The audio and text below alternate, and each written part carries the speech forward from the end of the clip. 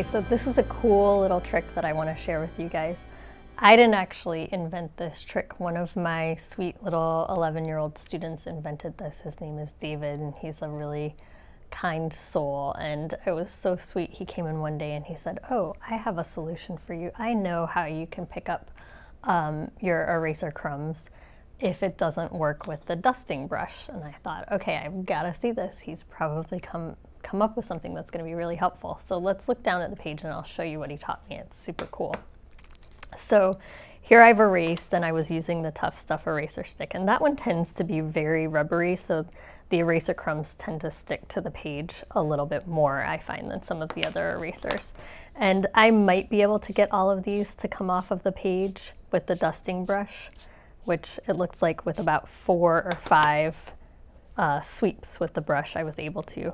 But if you aren't able to, what you can do is go ahead and erase, you find yourself with all those crumbs, maybe get one or two of them to go away, but then you can actually take this tip of your eraser and press them onto all of the little bits. And look at that, it's like a magnet, they just come right up.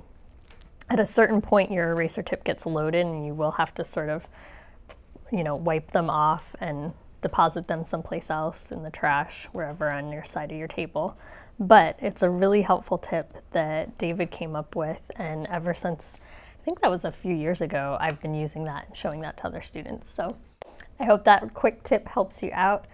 Now you don't have to worry about trying to get those eraser crumbs off your page by blowing on them or shaking your page where you could potentially dent your page or wiping your hand across the page, or you don't have to scrub at it with your dusting brush.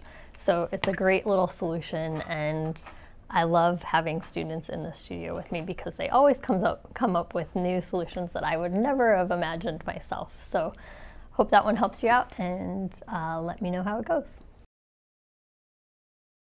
Thank you all so much for watching. Make sure you subscribe to my YouTube channel, LZM Studio, where I frequently release quick tips and all kinds of different ideas about drawing.